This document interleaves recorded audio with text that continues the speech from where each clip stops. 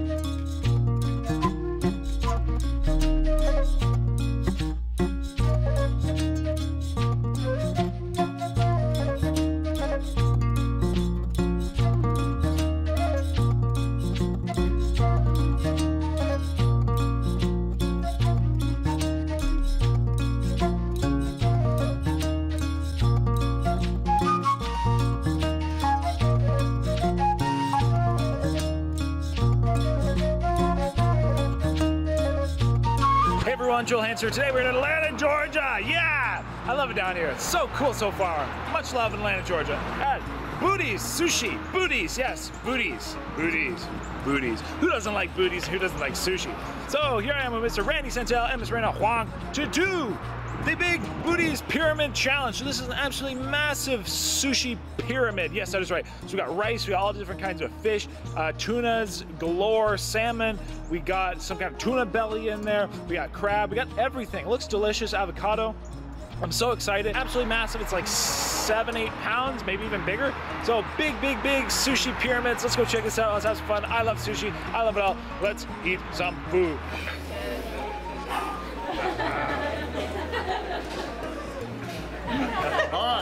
Coming off a big team win yesterday against that big Mexican challenge, but now today we're each doing the challenge solo, hoping to win. Big thanks to the owners here at Budi Sushi. We've got Budi and then his wife Sandy. Big thanks to them for having us in, but let's shut up and eat. One, two, three. Boom! All right, and then we've each got bowls of their spicy ponzai sauce, and then we've got ponzu sauce, and then we've got a bunch of guacamole here, and then we've got some ginger. I know that's wasabi. I won't be having much of that, but let's just dig in. Starting with some of these fishes. Oh, yeah.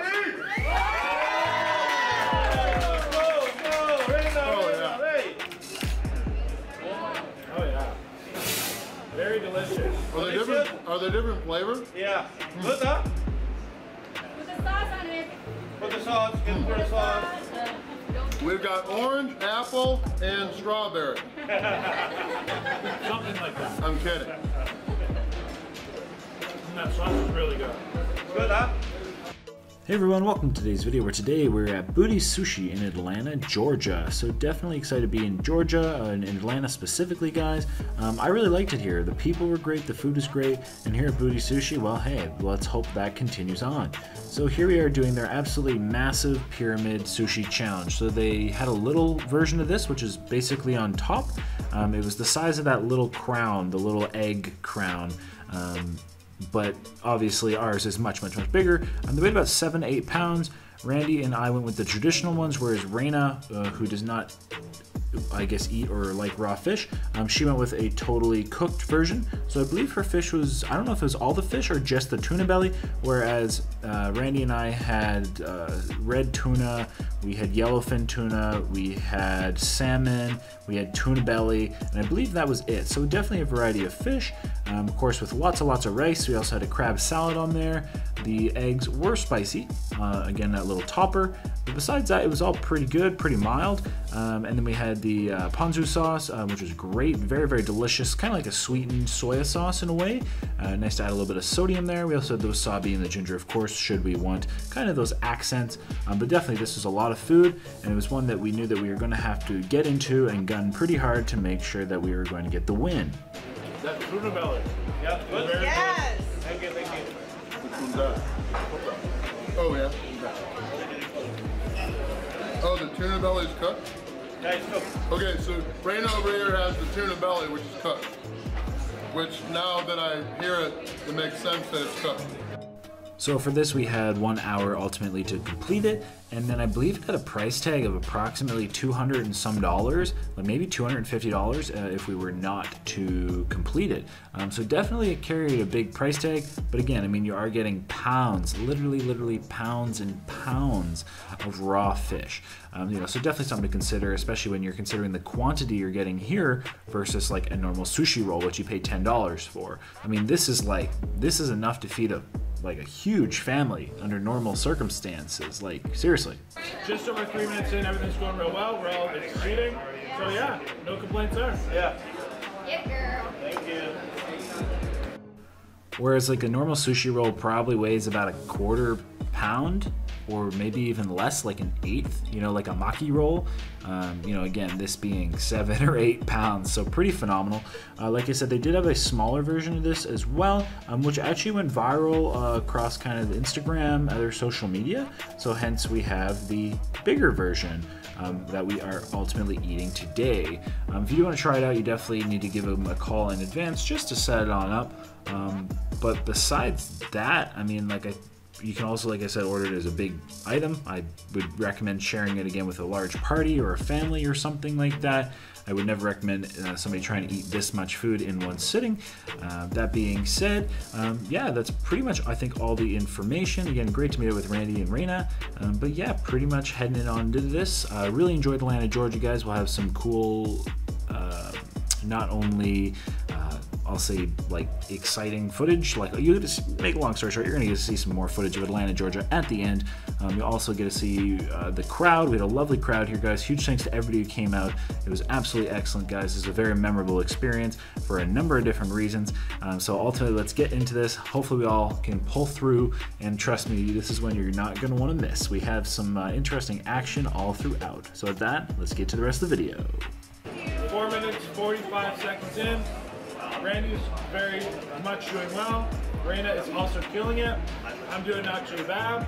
So yeah, we only got about 55 minutes left.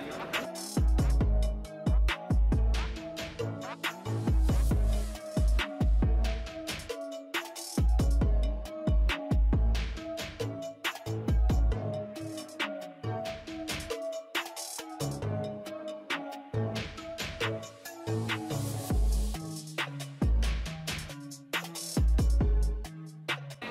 guacamole.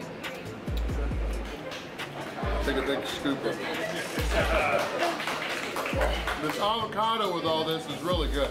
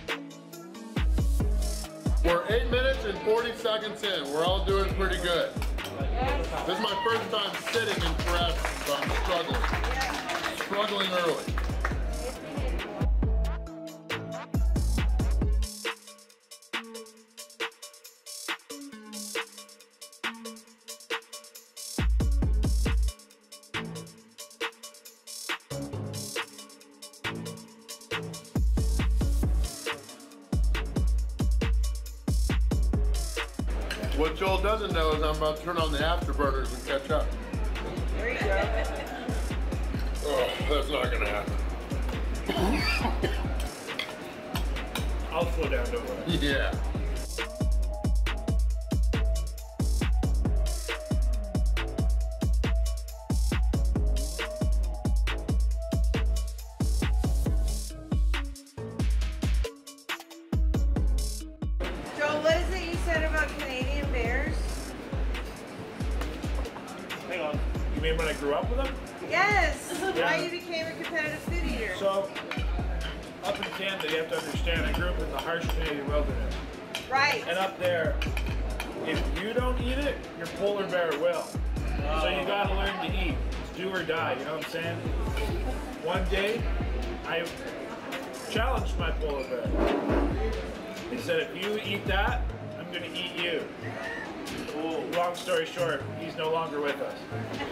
There you go.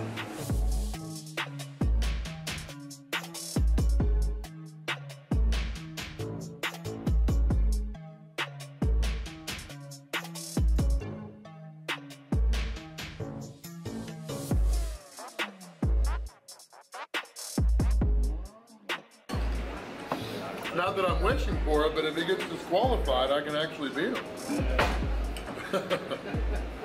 Oh. Oh, yeah. Thanks, Randy.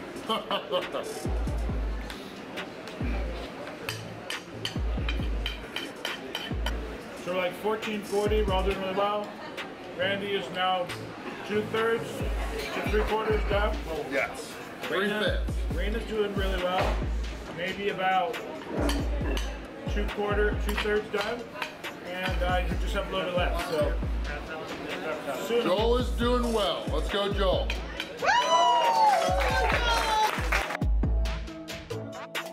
It would have been real impressive though if he had used chopsticks.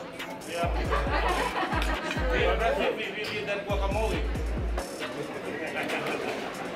Amen. What is that? Is that mocha? Matcha? No. He can have some of the matcha ice cream over here after he's done. That's called straight wasabi. Yeah, pistachio. Yeah. Oh, okay. I mean, I do like pistachio ice cream. This year, cleaning up my doubt. Wow.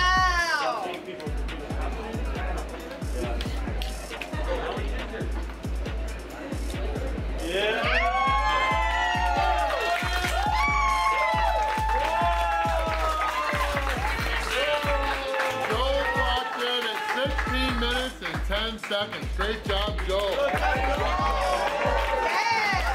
Joel has got the new record. Tell us what you thought while Raina and I keep on going. Yeah, challenge is really good. Large variety of different fishes. You can taste every one. Ponzu sauce, excellent addition.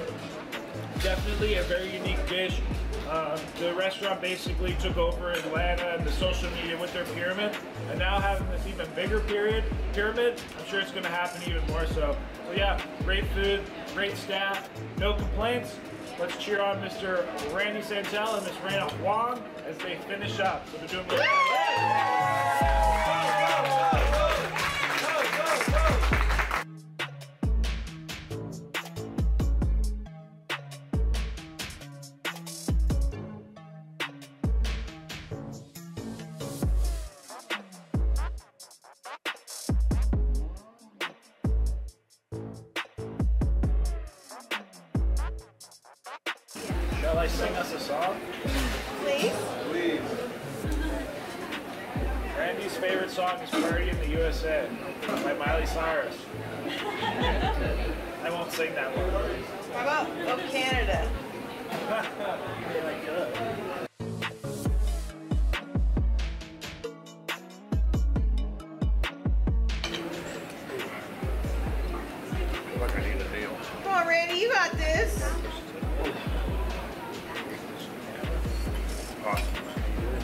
Keep going.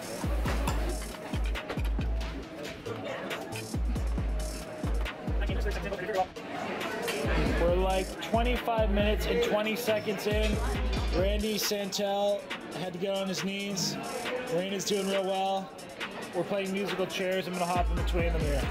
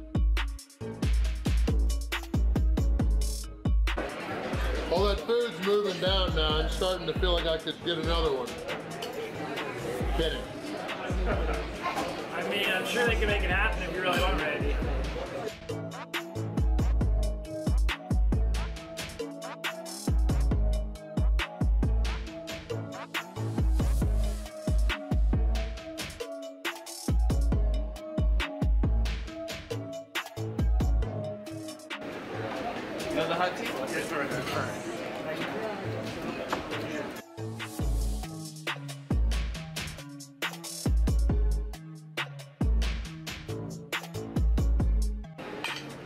Thankfully, we still have over a half hour to go. Don't plan on using it though, we're okay. All right.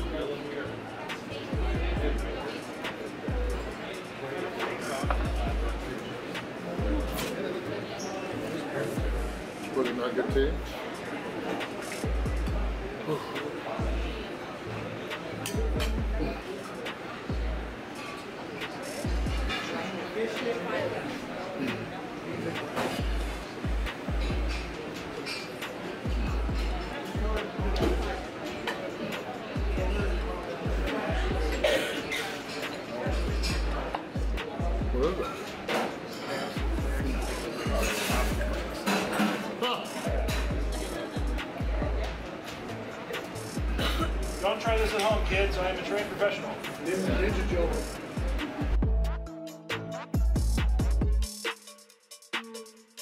I'm gonna try to finish up the big bites of fish first.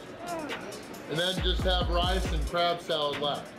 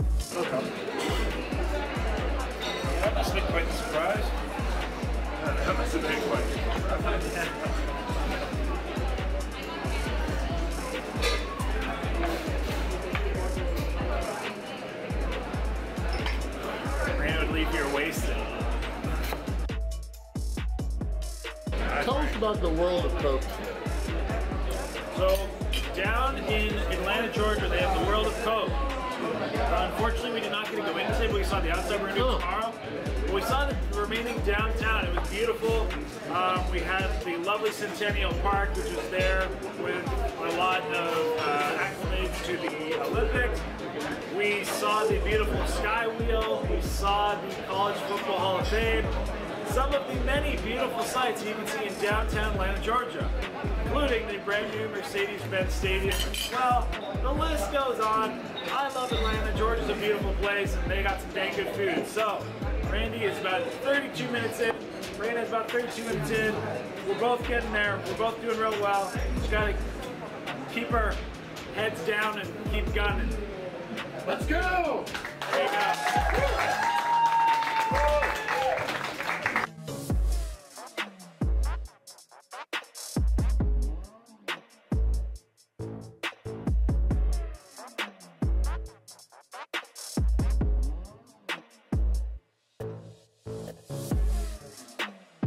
All right, so we are 33 and a half minutes in. I believe Brandon just officially threw in the towel. Is that correct? Yeah, we're gonna watch Randy. So Randy, we're gonna cheer on this Randy. Very good attempt, Arena.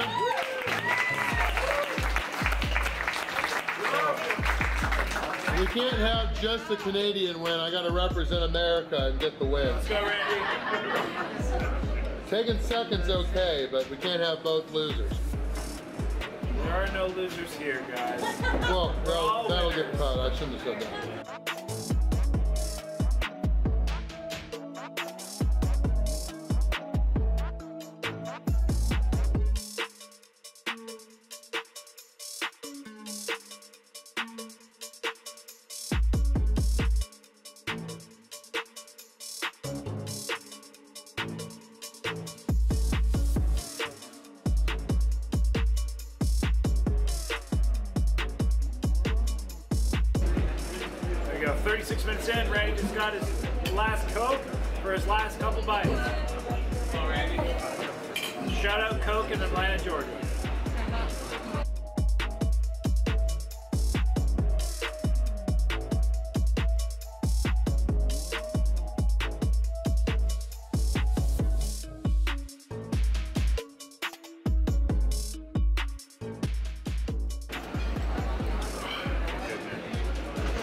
I'm also going slow and steady because there's a lot of people here and there's a lot of photos to take after this. And, oh, I want everybody to leave here with clean clothes.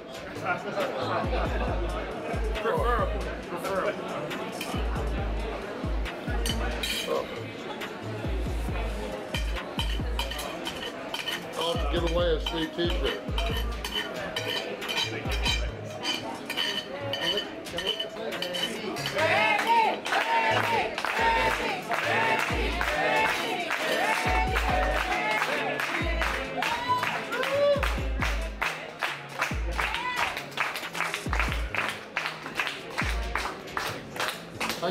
Joel finished with a cleaner plate than me.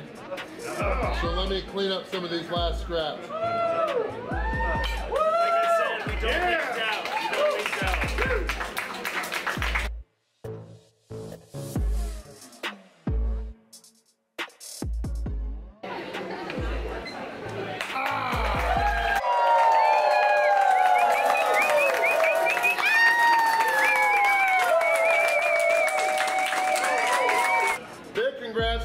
for finishing with a great record. I finished just a few minutes behind him. 38 minutes and 37 seconds. That was such a delicious giant sushi pyramid here at Budi Sushi in Atlanta, Georgia. I don't really know what fish I love the most. Uh, they all went down really smooth just because they weren't cooked, I guess, other than that tuna belly. But um, everything was great.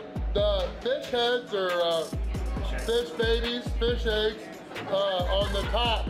Those were a little bit spicy, but I really enjoyed them.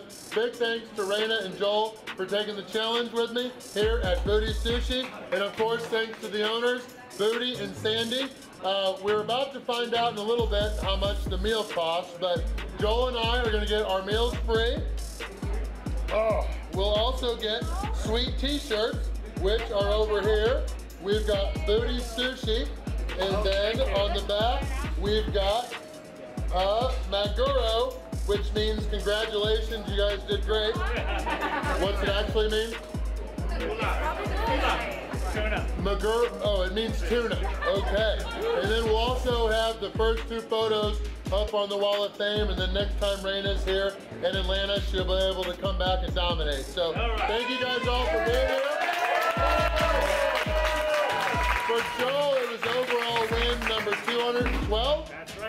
For me, it was 890, just 10 away from the big 900. We'll have another one all together in Sugar Hill, Georgia tomorrow. So thank you guys for watching. Thanks to Georgia. Huge thanks to everybody who came out here at Budi's. Booty, booty, booty today. So huge thanks to everybody here. Thank you so much, everybody. Much appreciated. Just a lovely crowd, a lovely place. Thank you so much to the staff, everybody here. Until next time, everybody. Of course, stay happy, healthy, hungry, happy eating. Don't do what I do. Have a lovely day, but have a lovely life. Come visit Georgia and just get yourself some good food here at Budi's. Until next time, everybody.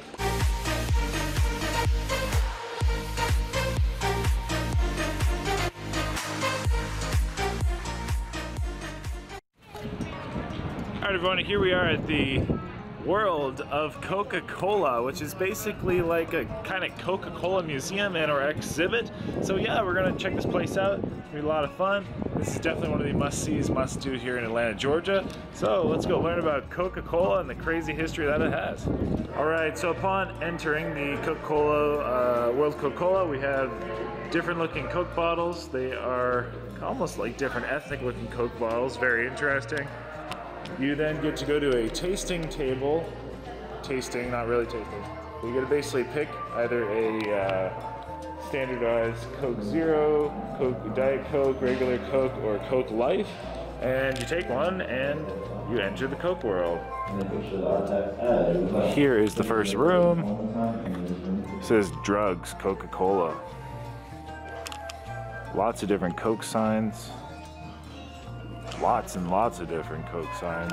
And uh, some old machines. And the guy talking. During that time, I'll give you a brief history of Coca-Cola, show you a couple artifacts around this room, and then just above my head, you'll see the five monitors. They will show you a short film entitled Moments of Happiness. It is a sweet little film. and has going to make a few people cry. In May 8th of 1886, by Dr. John Stith Pemberton. You might have seen his statue outside of Pemberton Place. The very foundation on which this building was built off of was named after our founder. He created the formula in 1886 at a place called Jacob's Pharmacy, which was about a mile from where we are standing here today. And the vault of the secret formula is literally a freaking vault, which is pretty cool. Excuse me. And at the heart, there is a secret of Coca Cola. Wow. Look at that. Pardon me? Thanks so much.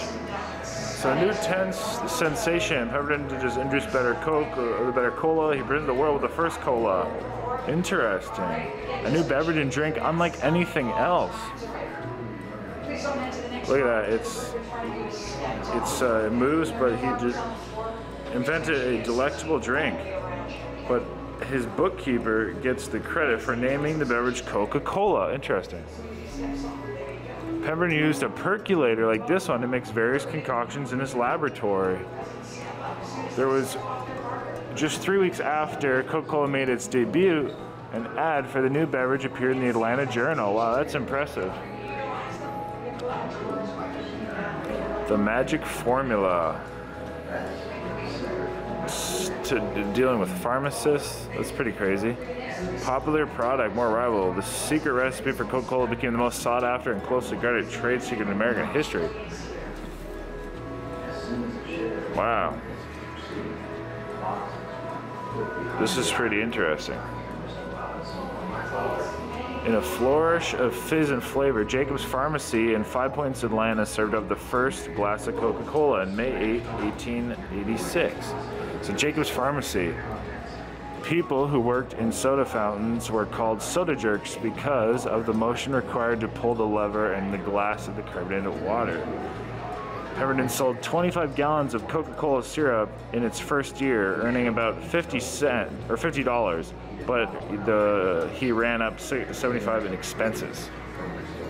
So first year he wasn't making money, but I'm sure that changed very shortly after.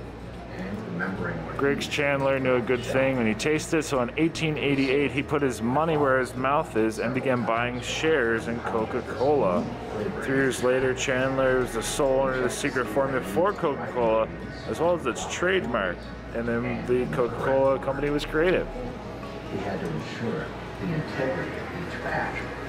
Traveling style Coca-Cola syrup was shipped in oak barrels, painted a distinctive shade of red. On me to keep the secret.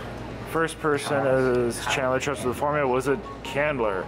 So he ordered all the ingredients, he locked away the purchasing records, and he only had the key. Wow, this, this is very secret. Candler devised a way to let people elsewhere produce a syrup without knowing ingredients.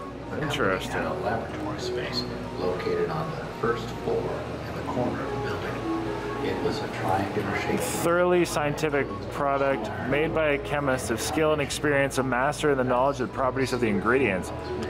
Uh, citizens of Atlanta. Really? So they elected the guy uh, Coca-Cola mayor. That's pretty cool. Um, locked behind the fireproof door was a secure triangular room for storing ingredients for mixing the secret formula. Interesting. That's Coca-Cola. And that was the uh, headquarters, the Triangle headquarters. Buying the company required a loan, and the loan required collateral. Um, but what was sufficiently valuable? The secret formula, really. So he bet the secret formula, Coca-Cola. Formula six-year stay in New York sealed away in the guarantees bank's vault. Holy crap, that's hilarious. So he literally, like, to get the money, literally had to put the collateral for it was like for the loan was a secret formula. So it literally like stayed in a freaking bank's vault. That's hilarious. I guess that'd be the vault. And Candler sold the company for $25 million. I wonder when that was. Oh, 1919. Wow. 25 million in 1919. I can only imagine how much money that would be worth now. That's amazing. Wow. So we literally had uh, people trying to imitate Coca-Cola, um, trying to make it cheaper, and again, copycats trying to replicate it. So much so that they were literally offering um, rewards if they, I guess, like found uh, imitators, which is pretty interesting. And I'm thinking that must be an original Coca-Cola bottle, like an old one. See a little Coca-Cola onto there? That's pretty interesting. Oh yeah, and there, that would what the emblem would look like. Interesting. Oh, imposter. Okay. I get it. I get it. Yeah. So imitators claim social special knowledge. This is crazy. Man, who would have known Coke was such a thing? Here's the progression of the bottles. I guess like you know, so like they said, fits in your hand, attractive appearance, recognizable in the dark. Interesting. Here apparently there's a number of myths and legends. So it's basically just saying that maybe Pemberton didn't create Coca-Cola by itself, maybe it originated in India or in uh, Scotland. Maybe it was created by a woman. So there's a but here's a fact. To protect secret formula, Coca-Cola voluntarily left India for nearly two decades. Interesting. So it looks like it was at risk in India. Um, yeah. Anyway, this is pretty interesting. And then people trying to recreate the formula. Yeah, pretty interesting.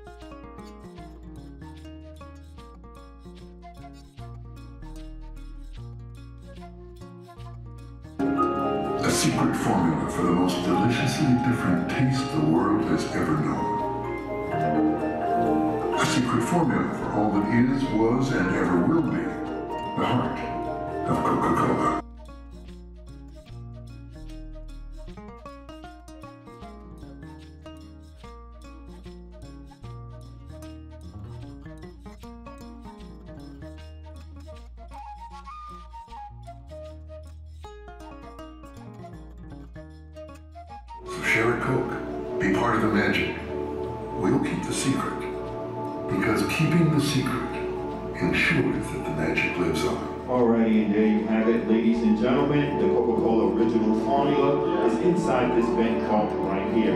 Now, it was brought here to the world of Coca-Cola in December of 2011. It was Coca-Cola's 125th anniversary. Prior to it being here, this formula was at two other locations. The Guaranty Bank in New York City, that's where it stood in that baseball park. So this is supposed to be Pemberton, the creator of the formula.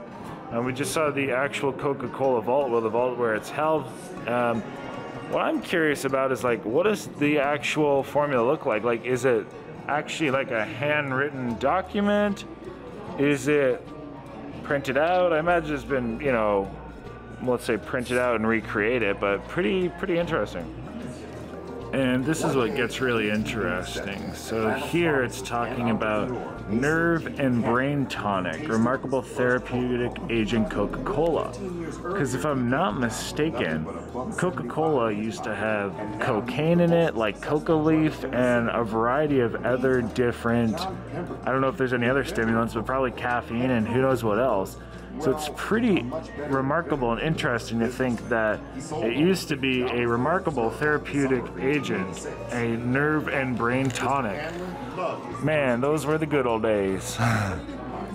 Here is a, uh vehicle from Argentina, um, the special Chevrolet to make his way through traffic easier while delivering Coca Cola.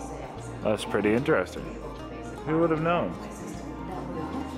This is really interesting. So here they have uh, Coke bottles from like Minnesota, Mississippi, Missouri, Montana, Kansas, Iowa, Indiana. That's interesting. I looked all over the place, and here it says, so it went from a single plant in Chattanooga, Tennessee in 1899 to where in just 21 years it went from one to 1,800 plants. That's crazy. And I guess it had different looks and different bottles. It's pretty cool. And then, you know, to drive refreshed, have a Coke, drive refreshed, drive refreshed, yeah, because it'd be freaking lit. Like wherever you go, have a Coke. So even pilots back then were drinking Coke. And like, as we talked about all the stimulants that were in it, I mean, basically, no wonder you drive refreshed. You'd be lit as heck with all the cocaine and stuff in the drink. Here we have some different things. So I guess that would be a uh, stadium dispenser. This is right there. Glasgow Stadium dispenser. So I guess it's probably still a syrup at that point, or I guess they, I don't know, liquid, not bottles. Then we have some uh, old Coke machines um, with like uh, with a little bottle opener, which is pretty cool. That was 10 cents at that point. Here we have what I think is one of their signature barrels they were talking about, like with the syrup back in the day, different uh, Coke machines. So yeah, pretty cool. Pretty cool. So, in relation to Coca Cola and the Olympic torch relay, um, so essentially, Coca Cola began its relationship with the Olympic Games in Amsterdam in 1928, and it's the longest supporter of the Olympics. And it partnered with the committee in a number of Olympic torch relays throughout the years. And here are the torches. So here we got uh, that's the Sochi one. That's an interesting. Here's Lillehammer. That is definitely an interesting looking torch. We have Atlanta. We have Rio de Janeiro. We have Athens. Here we have Torino. Here we have London, Beijing, Sydney, Nagano. But I don't see a Coke em- emblem actually on it. I don't think anyway, so I don't know how they partnered with them, but nonetheless, pretty cool. So Coca-Cola has a total of uh, more than 500 sparkling and still brands. Interesting. And these are apparently some of the most popular. So familiar ones: Minute Maid, Fanta, Gold Peak, uh, Powerade, of course, Coke. Cool stuff. And here's some more, which is definitely a lot of different looking bottles and brands. I'm familiar with definitely some of them, but not all of them. So this is roughly what a Coke technology machine would look like with water processing. And then we have a kind of filler and or bottling cap idea. So there you go. It's kind of being filled here the secret formula is used to make a special concentrate which is mixed with sweetener to make Coca-Cola syrup.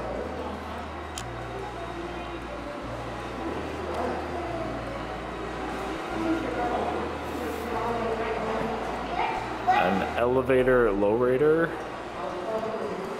Empty bottle inspector takes a picture of the bottles, examines any defects.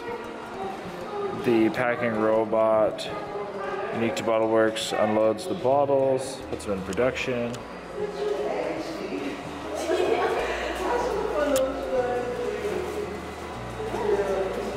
Machine rinses the bottles. Syrup and water is mixed together in the blender.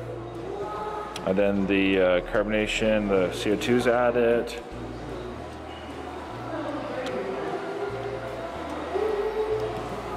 Printed on every bottle is a unique code in, that indicates where and when it was packaged and manufactured.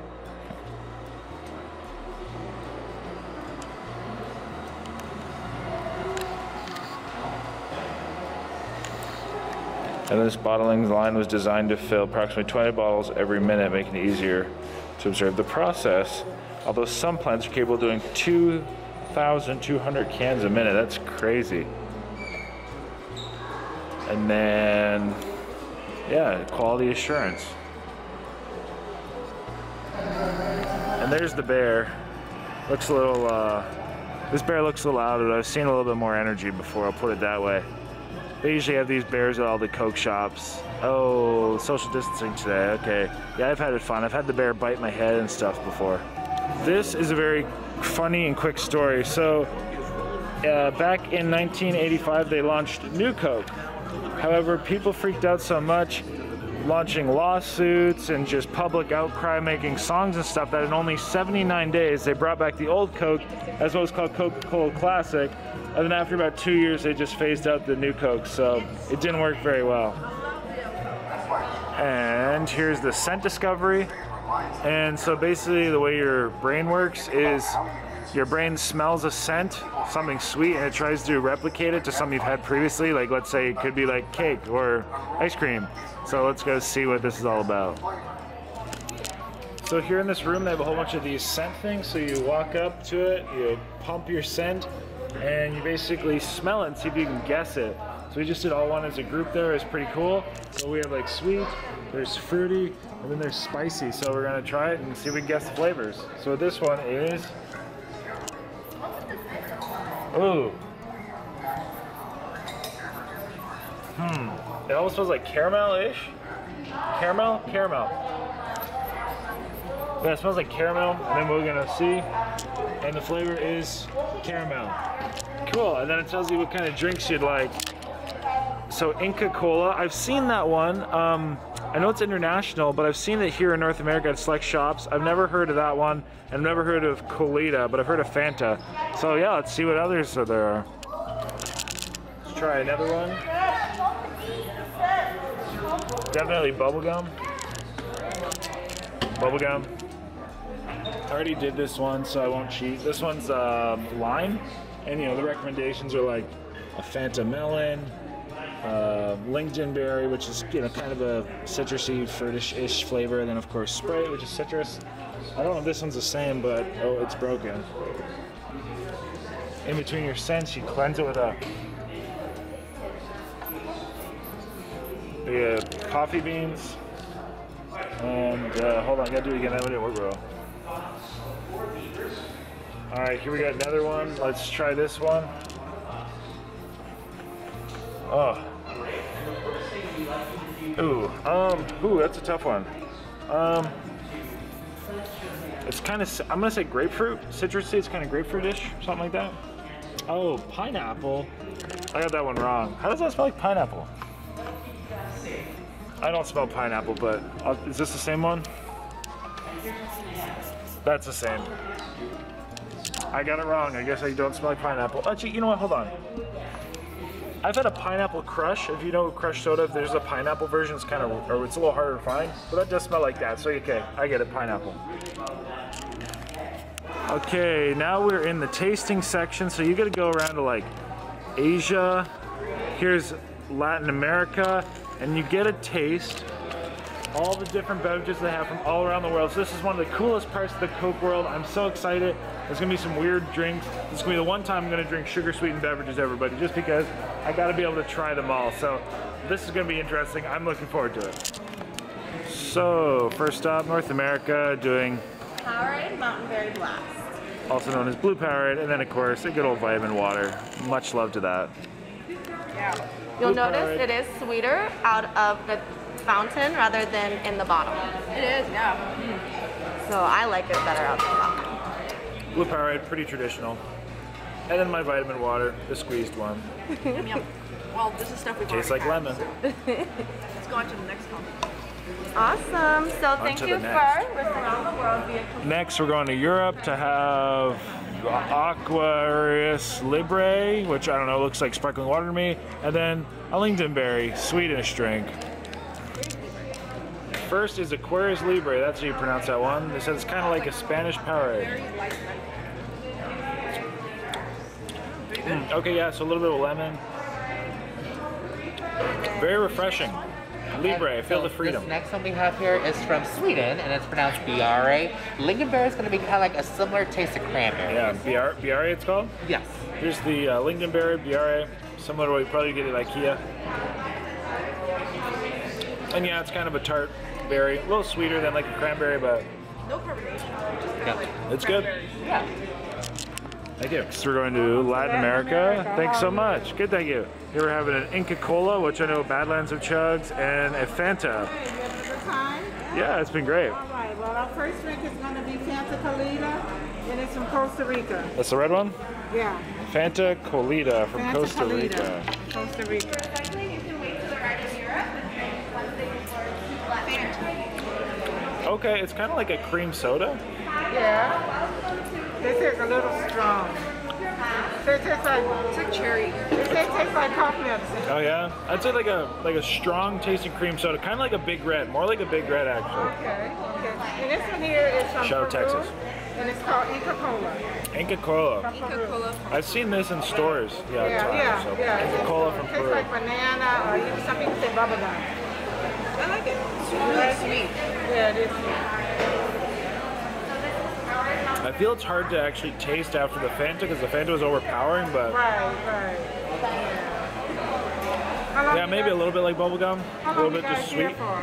Uh, we've been here for like four days so far. We got another one. So about We're in Asia. We're gonna have a Vegeta Beta. Sounds like um, Dragon Ball Z.